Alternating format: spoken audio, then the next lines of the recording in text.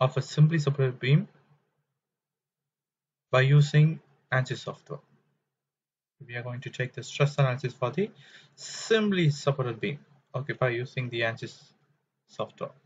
Okay, here preferences structural H method okay then preprocessor element type then add delete add we are going to add the element beam element 20188 then okay and close then real constant add delete add beam 188 okay. Then material properties material models structural linear elastic isotropic so Young's modulus are is 2 e power 5 and Poisson's ratio is 0.3 okay. Now sections beam common sections breadth is 100 and height is 100 then give okay. Now modeling create key points in ANSYS for the first key point we are going to give the value as 0 for the second key point we are going to give the value as 3000 distance of the first key point and the second key point is 3000 and the second key point and third key point is 1000 so we are going to give the value as 4000 from the distance from the first key point and the third key point. Now first key point and the fourth key point distance is 6000 give okay now the four points are created. Now we are going to take the values and we, we need to join these points by using lines.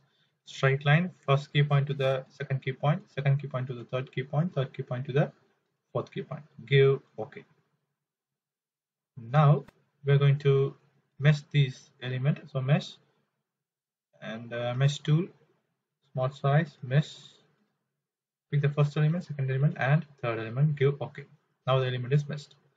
Now we need to find out the difference of the three four nodes. So again we are going to give the plot and the lines. We can get the previous one okay. Now we are going to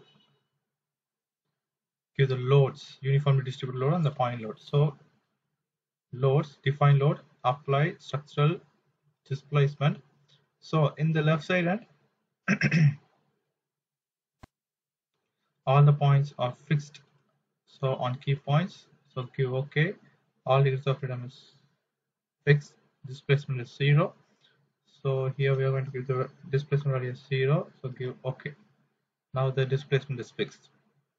Now again we are going to give the on key points. On the opposite side end give ok and uh, the uy displacement is zero then give ok so y direction will be fixed.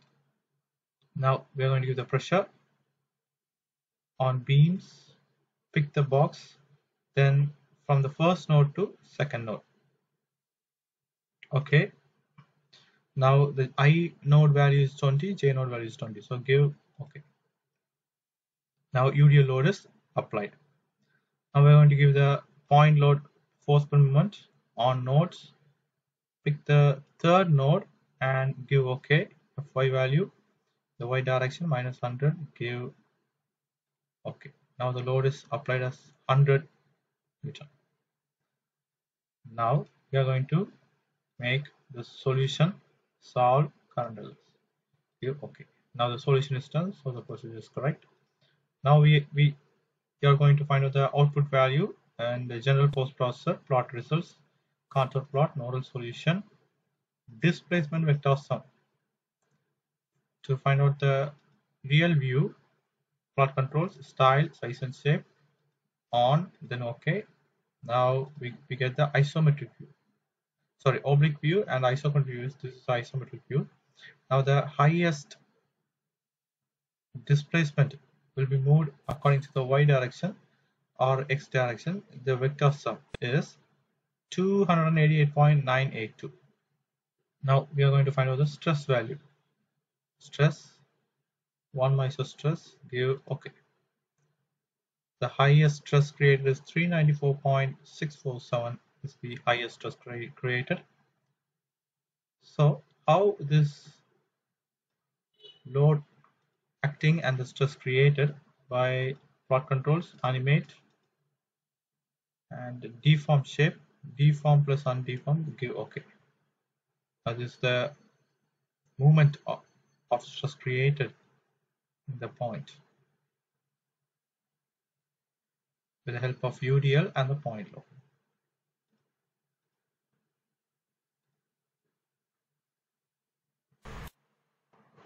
So thank you for your kind cooperation to see this video. Thank you.